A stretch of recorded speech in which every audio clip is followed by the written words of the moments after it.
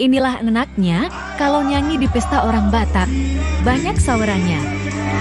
Apalagi keluarga sendiri.